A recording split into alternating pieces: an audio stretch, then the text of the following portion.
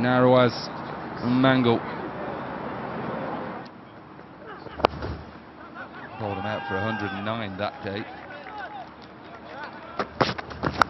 See the pressure? That's what pressure does. He knew that was pressure. Shahzad at the other end. Oh, wow!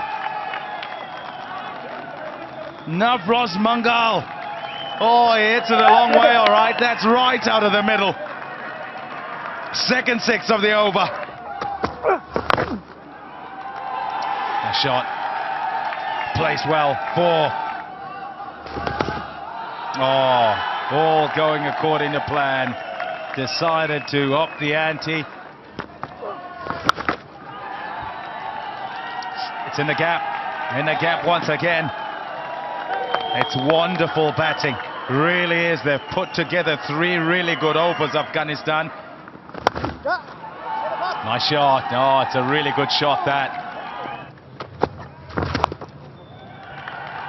Well played. Well played. That's well batted.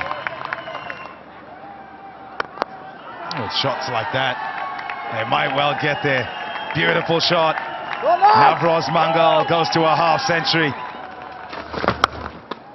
What a time to get it, and is not done yet. Changing commentary now, Jonty Rhodes. Could be out. And It is out. Uh, So he was trying to get after Nadeem in his last over. Already uh, gone for eight runs in the first two overs.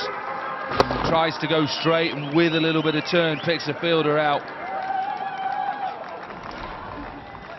Good catch by Kinchit Shah and by uh, Nadeem to hold his nerve. Excellent innings from uh, Mangal, 53 from 36. It's 113 for three.